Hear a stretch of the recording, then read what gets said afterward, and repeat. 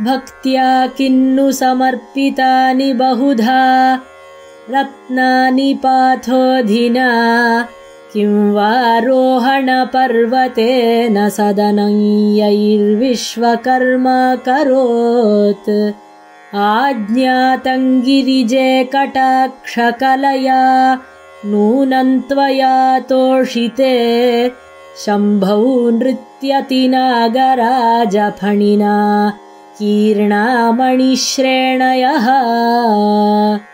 विदूरमुक्तवाहनैर्विनम्रमौलिमण्डलैः निबद्धहस्तसम्पुटैः प्रयत्नसंयतेन्द्रियैः विरिञ्चि विष्णुशङ्करादिभिर्मुदातवाम्बिके प्रतीक्षमाणनिर्गमो विभाति रत्नमण्डपः ध्वनन्मृदङ्गकाहलः प्रगीतकिन्नरीगणः प्रनृत्तदिव्यकन्यकः प्रवृत्तमङ्गलक्रमः प्रकृष्टसेवकव्रजः प्रहृष्टभक्तमण्डलः मुदे ममास्तु सन्ततं त्वदीयरत्नमण्डपः प्रवेशनिर्गमाकुलैः स्वकृत्य रक्तमानसैः बहिः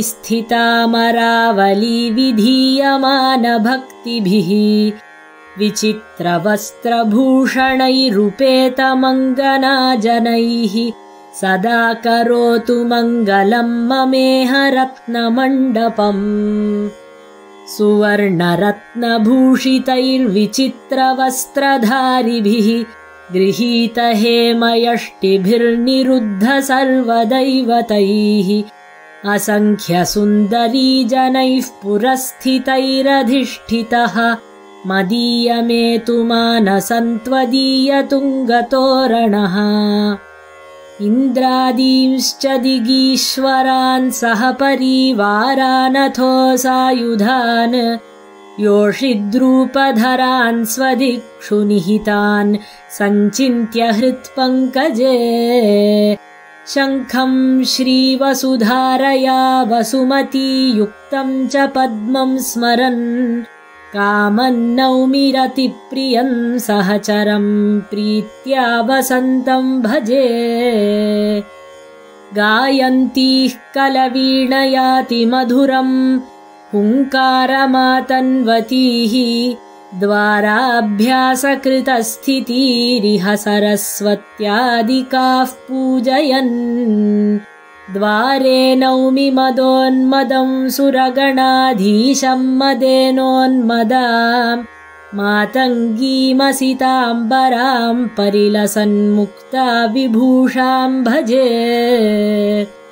कस्तूरिका श्यामलकोमलाङ्गीं कादम्बरीपानमदालसाङ्गीं वामस्तनालिङ्गितरत्नवीणाम् मातङ्गकन्यां मनसा स्मरामि।